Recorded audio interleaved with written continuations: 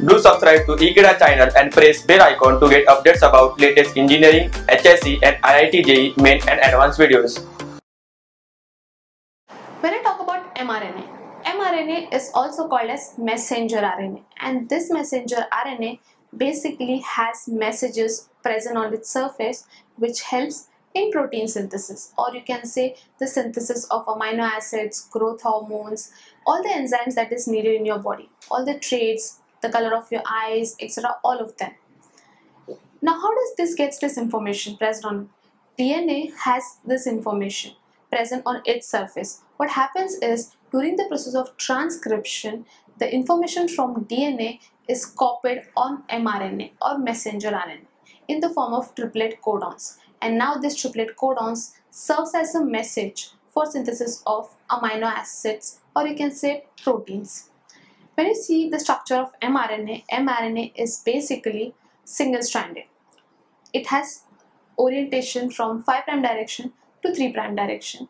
It has codons which are triplet in nature. When I say codons triplet in nature means it has codons in a group of 3 and each codon present in the group of 3 will code for one amino acid. Now, if mRNA has codons, tRNA has anticodons and when they together come, then the synthesis of protein takes place. mRNA, tRNA and RNA together help in this protein synthesis. Messenger RNA or mRNA is basically formed after DNA replication is done. So one strand of DNA, as we all know, the DNA is helical in nature. One helical strand of the DNA is copied. That is one side of the DNA is copied and messenger RNA gets from there it's all messages or you can say information just to make that protein synthesis. And any alterations or deletions in this codons which could be frame shift mutation single mutations anything of those can lead to problems in protein synthesis. Imagine if insulin is not produced in your body do you think glucose will be used properly and if glucose is not used properly then you could be diabetic which is genetic. Now if there is a problem in one of those codons present on mRNA or mRNA has did some mistake during that protein synthesis you may land up with a genetic disease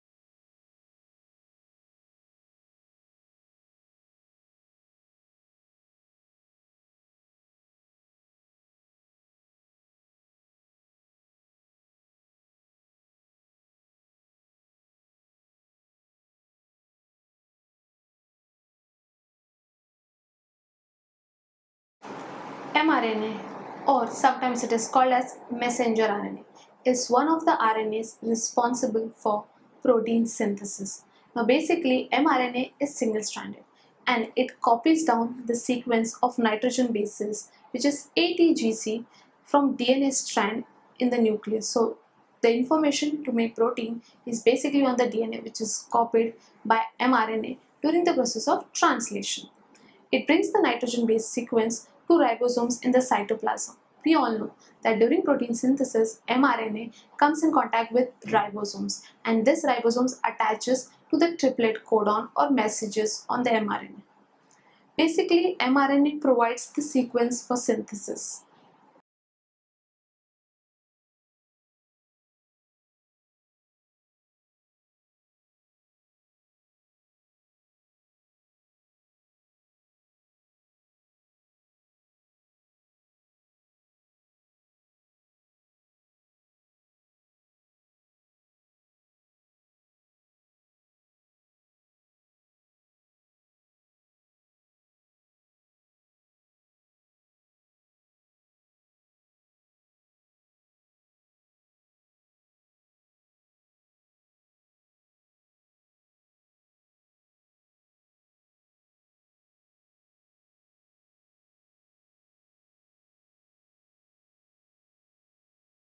mRNA, what it does is that it provides amino acids sequence with the help of tRNA. Now tRNA will have the anticodon sequence whereas the amino acid sequence on mRNA is the codon sequence.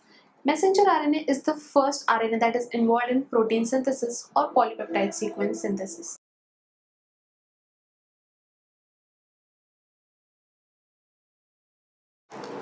As you can see in this diagram, this is a structure of mRNA or you can say messenger RNA. Now basically mRNA is single stranded.